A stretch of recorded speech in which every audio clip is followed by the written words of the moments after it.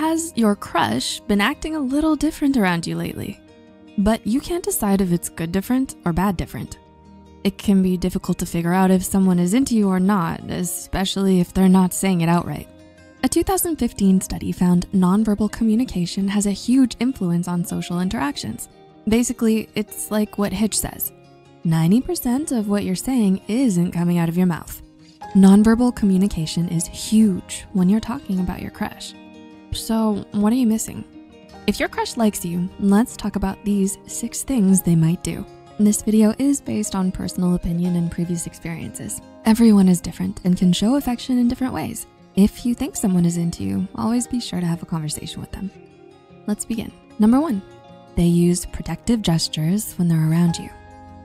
Have you ever been driving with your crush or partner in the passenger seat and had to slam on the brakes? Your instinct is probably to keep hold of the wheel and throw your other hand out in front of the passenger to help keep them safe. This is called a protective gesture.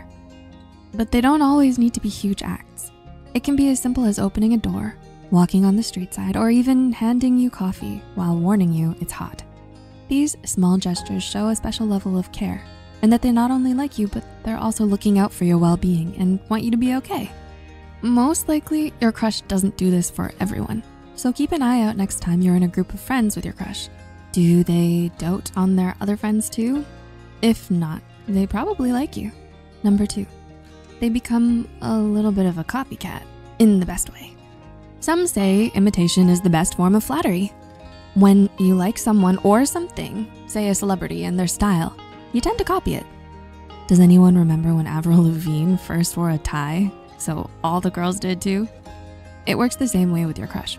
If they like you, they might mirror the way that you speak, your energy level, or they may even start using the same words you do.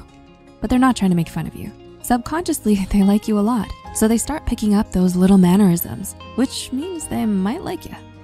Number three, they gaze into your eyes, but not too much. When you and your crush are talking, where are they looking? Eye contact is one of the most telling signs that someone is into you.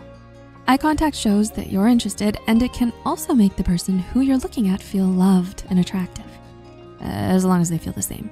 Now, we don't want 100% eye contact staring contests happening, which can actually be related to aggression or being territorial or possessive and can make you feel super creeped out. But a little eye contact here and there can be a great sign that your crush likes you. Number four, they laugh with, not at you.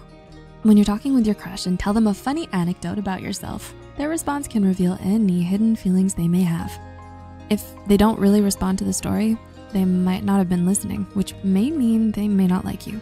If they use your story as a way to make fun of and belittle you, they definitely don't like you and don't sound like they have your best interest at heart. Now, the third reaction is what we're looking for.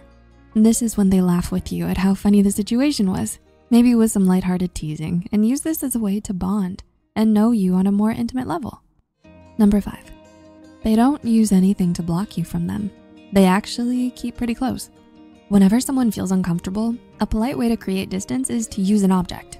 This might be something like holding your books in front of you to avoid an unwanted hug, or maybe holding a backpack close to you as a shield in situations where a level of tact is needed, such as being at work and not being able to tell someone to get away from you. But your crush will do the total opposite. They'll wanna use more open body language and remove any obstacles between you two. You'll notice they sit close to you too, which is a sure sign someone has a crush on you. And number six, they call you with big news. It's 2022. If someone's calling you, it's probably either your student loans or a telemarketer. A text is usually preferable. But when someone you know calls you with big news, good or bad, that's totally different. They not only wanted to physically tell you, but they wanted to hear your reaction too. It can also mean that they wanted to tell you before anyone else or posting it on social media. Do you do this with just anyone? Of course not. So if your crush does this, they probably like you. It can be hard to put yourself out there when it comes to revealing your feelings, especially when it's a 50-50 shot. But hopefully you now have a few tools in your toolbox and can spot some signs that your crush is into you. If you spot some, let us know in the comments below. What do you do next? We wanna know.